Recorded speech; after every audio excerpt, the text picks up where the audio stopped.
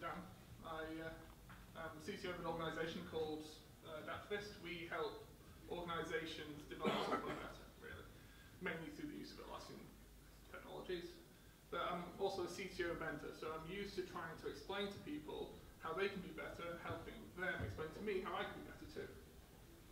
Uh, Devoxx is an organisation that deals with training mainly Java developers, but developers as a whole on understanding new technologies and giving them bite-sized chance that they can go away and implement. And Devoxx4Kids is the same. My 11-year-old said, well, what about me? How can you get to go off and play with cool stuff? So I'm off to CERN in a few weeks and we're going to get some kids playing with some robots and stuff. And occasionally I do stuff that's nothing related to this at all. But what this is really about is community and teams. And the thread of everything I tend to be interested in took me a while to figure out, but I care about people, how they connect, how they communicate, and I'm a developer myself, but that's really what I care about is helping teams work together and work better. And what's more about a teamwork and looking at themselves in a retrospective. So that's why I'm talking about this. But let's start with the consultancy approach before we consider. So what, why, who, and when. So what is it? It's not a white hole. A chance actually to step back and reflect. It's supposed to be a safe harbour, a place that everyone can feel confident in themselves to be able to bring what they managed to do, the increment of things that they did, and a place where they can constructively criticize both the stuff that they did and what others did in a hope that if we were to have done this again, here's how we could have done it better. Does anyone disagree with that? At least we're in agreement about what it should be. But actually it's more about being a barometer. I mean, you can use it to judge the health of your team. You can see the communication, what's worked well and what hasn't, the transparency, the efficiency of the team, which is often not the same as the effectiveness. And also how reactive you were to things that went wrong and things that could have been better. And did you have wait till the end of the two weeks in order to actually make a change? How, how much were you disrupted by external factors? Interestingly, it's not just a tool for people within the team, but can also be used externally. HR, for example. I'm sure everyone who's been to a review where they've seen their performance measured by how much they did but there's not much often I see where HR uses this to see how much you helped others or how much you participated inside of a retrospective. For example, how much did you help someone else be better? Because actually, you helping others is more important than you helping yourselves, especially when you're working within a team. I would argue that the purpose of a retrospective is to foster a desire for improvement. It's there to create this culture of introspection, that time where you get to sit back. It should increase the empowerment of the people in the room, and it should reduce the frustration going forward. Because if it's not doing that, what is it doing? And if you agree that it should be doing that, is that happening in your teams? The last retrospective you had, how many of the frustrations that people have in the room were actually resolved going forward? And if not, why not? Because these aren't just for the Scrum and Agile teams. Retrospectives can be applied to just about anything that has an increment where you can reflect and say, if we had our time again, what would we have done differently? They're useful for any team that has a degree of autonomy and control over their own processes. So I agree that if you're a supermarket checkout clerk, then probably a retrospective isn't that useful to you. Unless you give the team autonomy, purpose, and mastery, and they can control those elements and say, hey, as a business, we're going to get you to be the best checkout clerks you can be, in which case then absolutely you should be doing these sorts of things. Now whether you want to call it agile or not is up to you. But I would guess that most people in here fit inside of an agile team, and therefore you're already doing retrospectives. But figure out how this fits into the concept of high-performing teams. Has anyone heard of uh, high-performing teams? Sounds like the three is mastery, autonomy, and purpose. And this absolutely fits under the autonomy of how you should be improving your own processes. One of the most common questions I get asked about is, well, how long should my retrospective last? And how often should I do it? And my, my answer is I don't care. Because it doesn't really matter. If you need them to be longer, you'll make them longer. And there is no set rule. What does matter is that you do them regularly and that you don't miss them. I mean, how many people have been so busy and so worked up that they need to get a release out that the thing they dropped was a retrospective? That's the time that you don't. That's where things have gone wrong. This is when you need more than ever to fix things. And the last thing in the world you need to do is to stop it. But there's rules as well. Um, there's not actually that many rules. In fact, I only have one. There's only one thing I care about, and actually it's Norm Kerth. There's a few versions of this in iterations, but I like Norm's personally, because it says, regardless of what we discover, we understand and truly believe that everyone did the best job they could, given what they knew at the time, their skills and abilities, the resources available, and the situation at hand. This absolves people from attacking personally. This means that I, I believe, Jack, you did a good job. Jane, I'm not saying it's your fault. What I'm saying is we need to understand what happened, and I'm not saying that you did the wrong thing. I'm just saying that we should have made a better choice, perhaps, but we should at least discuss it. This is not about applying blame. This is about improving. Uh, if you want to read more about this, then there's blameless post-mortems and read up on them. There's tons of stuff on, uh, on Google. So the next thing that you can get wrong quite easily is the scope of retrospective. So it's, it's, it's quite obvious what you should include inside of a retrospective, except what it's not. Because you shouldn't be dwelling on things that you can't change and you can't improve. And that's really annoying for us humans. Uh, if you take the political cycle, my Facebook feed full of people ranting around Trump. Absolutely full. But it's not something we can change and we can't improve it. However, we love to rant about it because we've got an opinion and we care. And that's fine and we care. But if we're going to take that same effect and start ranting about the CEO and, or talking about a budget that's too tight, if we can't change it or improve it, all we're doing is wasting time trying to discuss something that is not going to improve great, it's cathartic, but retrospective isn't the place for it. You want to take that offline and deal with that some other way if you can. the focus should be the increment. That's kind of obvious, the thing that you've just done. The code, the features, but also the process itself. You might have gone through a DR failover, for example, which isn't a process you've done in a while, and actually looking at the DR failover process is as important as looking at the actions that you took during the DR itself. Also, there's external factors, distractions that have come in, things that hit the fan that you may not have planned for. And this is a good time to be able to talk about how you could have been better by not having been as distracted as much.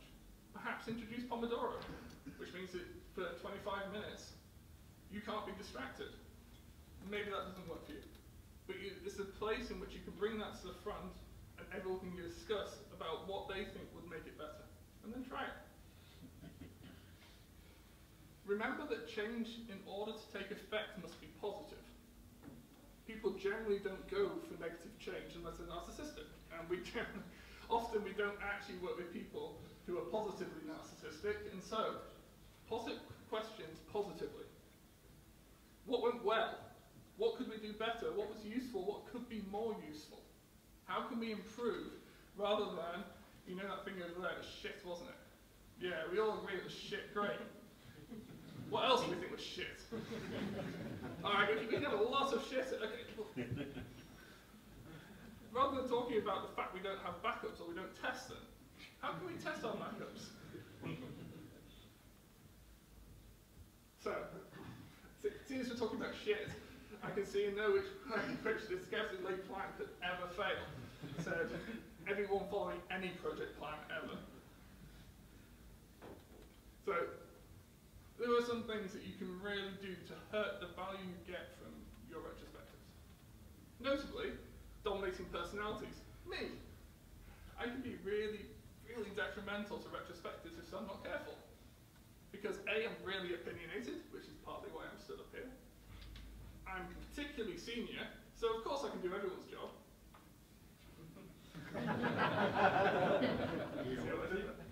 and um, also, I've got a lot of experience. So I've been there, done that, and actually I'm coloured and biased because of it. And so I can railroad anyone down a particular path if I so choose.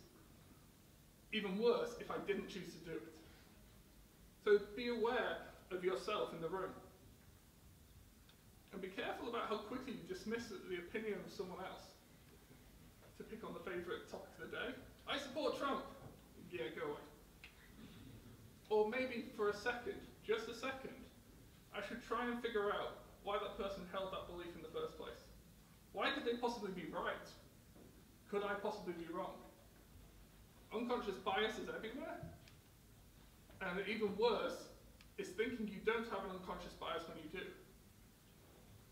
Because you need to fairly consider everything that's brought to the table. In fact, the junior stands up and says, hey, why aren't we doing two-week sprints? Why are we just doing one-week sprints? The answer isn't that's not the way we do things around here. Agile isn't about tradition It's opposite, it's about breaking tradition. And assume that every suggestion is valid. If you can't argue for the suggestion that's been made for 10 seconds, just in your head, then you probably don't understand it well enough, and that's something you should try and address. Okay, maybe it's still a crazy idea, but at least then you understand where that idea came from.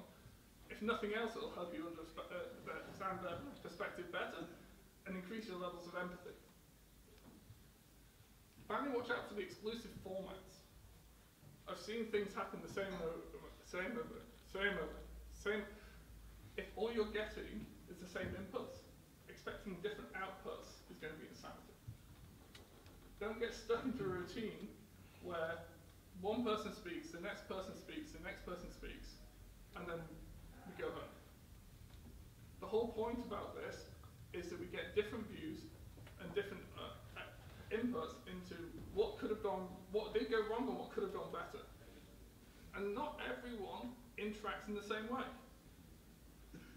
I don't know how many people here have got stuck in the routine.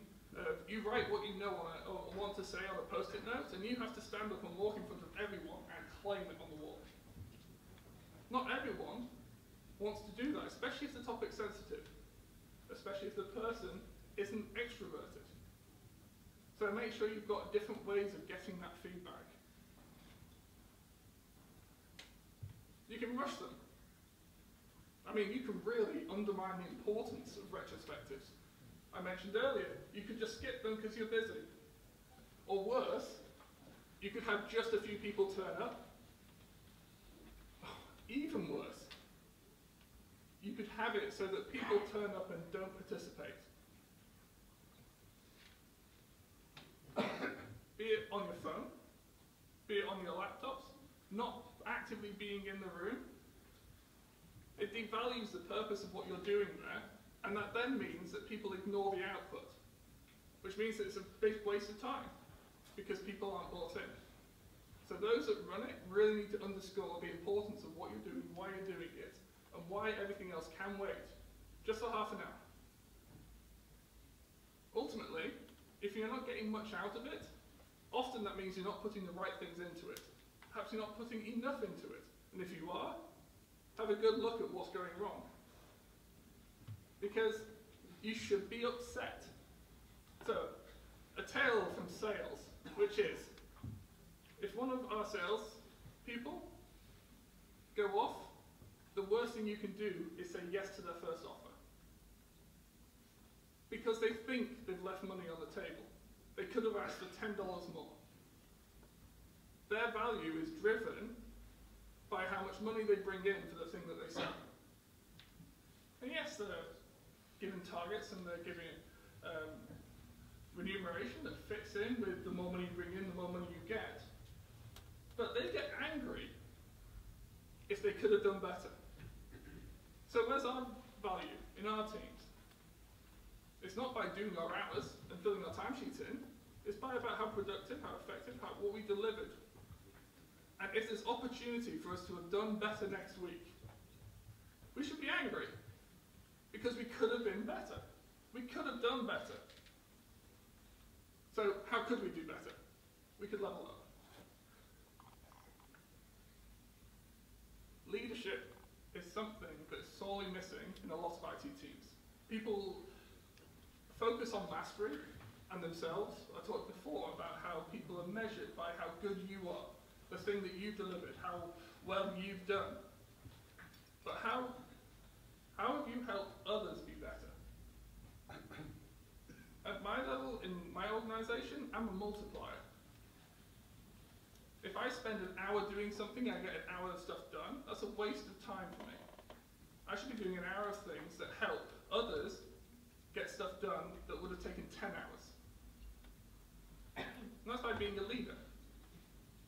So, retrospectives. This is about making the person who's got the least to say speak first. All of our juniors talk first in the retrospectives so that they have a chance to learn. They're there in order to deliver the piece of information that they learned this week. That's great, it gives me insight into what they're doing, but it also gives other people insight into what they're saying. Then, you incrementally go through the until the person who's got the most experience speaks last. And I don't measure her by how much she speaks, I measure her by how little she has to. If I'm taking out the most senior person from the room, can the team run and function without her? Can the people in the middle, do they understand what's going on? Or is it all being driven by that one guy who knows everything and if they didn't turn up for work tomorrow, it's screwed?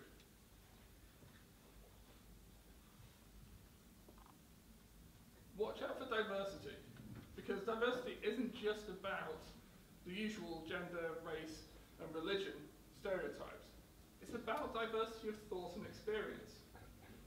You want diversity of roles, inside of your retrospectives, if all you've got are the de developers, and you've had some database issues, and you haven't got anyone who understands the databases instilled in your team, then you're going to struggle to get the right view coming out. You're also going to struggle if all you've got are senior engineers. I've seen some really poorly performing teams that are full of people who've been doing their job for 20 years and all think they know everything a bunch of alphas that are great, and they're the Rockstar A team. Fine. How are you helping any other team in your organization? How are you helping anyone level up other than by existing and doing the work for them? I refer you back to the leadership quote. Diversity, if you're not seeing the benefits of diversity, then you don't have a team that's diverse enough and you're not looking at it right. Every single study that has come out over the past 30 years this, This, I think, is one of the most important points because this goes back to the tradition. Break the boundaries and keep it different. You should be uncomfortable and feel like every sprint you go through, you're not going through the motions. You should be breaking new ground each time. You shouldn't feel like we're just going through and delivering. You're not building a house. You're designing a better house and a better house. And if you're not doing something new, you're likely going to be feeling comfortable. I talk about it in these terms and I get a lot of blank looks as to what on earth are you talking about. Well, let me put it in a different way. We've all had relationships where we looked at ourselves in the mirror one morning and realized six months ago I should have left. And the reason that I've not is because it's safe, it's comfortable, I'm happy here. And the reason I don't take something else is because it's scary. And the moment that scary is different is the moment you don't go for the difference. The moment that scary is change, you don't change. And if you're not changing, why are you even looking at yourself to challenge yourself on how you could have changed? Because failing is okay. And if you stop failing, you forget how to fail. And the fear of failing builds up again. So failing actually helps you. And so just make sure that the failures are small and they have a little impact on you. But failing means you change. So what are you changing? And what are you doing next? Because if, you're always working and it doesn't ever fail, you become fearful of the time it does. We know this with disaster recovery, which is why we run disaster recovery drills. But quite often we don't look at how much we've changed over the past year to see if we're just doing the same thing. And teams that are doing this well, teams that are doing this right, they are changing and they are improving. So by what you think you're doing is staying still and static and doing well, you're falling behind, and that's different because this is a race. Hold retrospectives on your retrospectives. How often do you sit there and say, just for five minutes at the end of your 30 minute retrospective, so what did we miss? What could we have done? How could this have been better?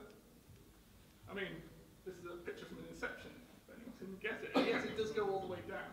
But actually, just at one level, challenge yourself on whether you are actually in the great place you think you are. So, Voltaire, there's a famous quote from Voltaire, which says that perfection is the enemy of good. And I have to disagree. Because when you settle for good, it means you stop trying to. You can always be better. And so you should always strive to be better and to, do, to have done better. But it's okay that you're not. I mean, it's fine to accept that we did what we could. In fact, go back to the Norm Kerth's. We only have got as far as we had because we didn't know then what we know now. But we do know now. And we're about to do another cycle of stuff that's probably really similar because that's the way it works. So how can we do it better? So that's my question to you. How can your next sprint be better? Thank you.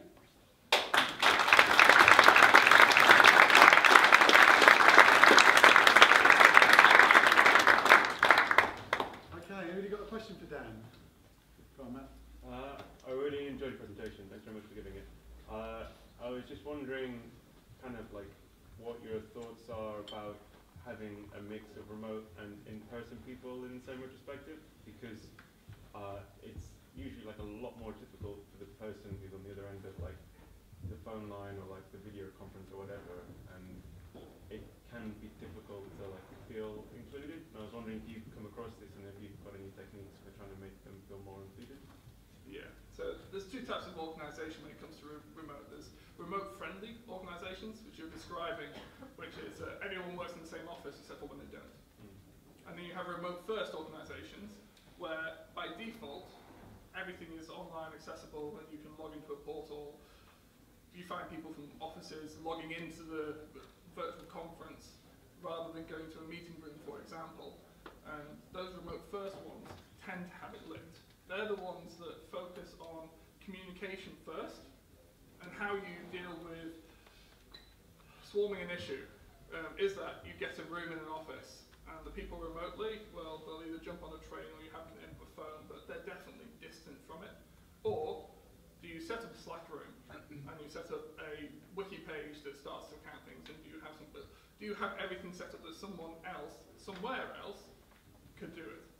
And if you operate in a remote friendly environment, you have challenges. Uh, you also have challenges culturally because people seem to think that uh, working from home on a Friday means you're having an easy day. Whereas remote first organisations, actually, the people who work from home are more productive. Uh, for some people, they're even distanced over different offices in different cities, or even over different time zones. And how you deal with having a meeting with remote people is how you address that rather than talking about retrospectives specifically. But retrospectives are a great meeting to highlight the issues you have of not having good communication inside your organisation in general. And that's what you need to fix, rather than just how do I have Jack sat there and, uh, on an iPad pretending he's here? Or how do I get Jane actually logged in? And uh, the, the key thing with that is audio. If someone can hear everything that goes on in the room and can follow who is talking about what, 90% of the other problems have gone away. But so often, I've been on a remote call, and it's like, I can hear one person really loudly and another person really quietly, and I'm a second class citizen dialing in. So break that mentality that the people in the room are responsible for letting me hear it, rather than it's my responsibility and tough luck you're not here. And so you'll have to suck it up and deal with it. If you change that mentality, then usually that helps. And keep throwing it out to the person. I want your opinion, people on the phone. If you can't hear us, then we'll stop and fix that problem. It's not that you're fixing one problem. Okay, just time for one more question. Anybody else got a question for Dan? Yep, go on. Um, so um, I'm not a developer, um, but I'm, I'm manager, I guess, and I'm just interested from thinking about um, the rest of the teams in your organisation that are not necessarily agile teams and sprints and stuff. Do you have a do you have another another a different approach to retrospectives for non-technical teams, or actually following pretty much the same principles? It's exactly the same principles. The problem that I find when talking to organisations of this nature, especially business teams and people who think they're different, talking to CEOs and board meetings and how do I, they're not doing retrospectives, I'm pretty certain they are. They call them different things though. They'll call them an offsite, or they might call them a quarterly review, or what they're doing exactly the same, but what they're forgetting to do is to review the thing that they're reviewing. And the principles get thrown away because they throw it all away with the word agile. Mm. And agile is so much more than just Scrum and Kanban or, or Waterfall or any other token. So I would, I would watch the terminology being used and talk about the benefits that come out of it and just suggest, hey, that time that you take a look at the thing that you've done over the past three months or whatever it is, perhaps we should uh, apply these principles to it. Perhaps just put some post-it notes on the wall and perhaps we should talk in this circle or perhaps we should get the person who's got the least to speak first. Mm. you can apply all the same methodology and at the end of the day they don't even know what they're doing. Okay, great, Dan, thank you.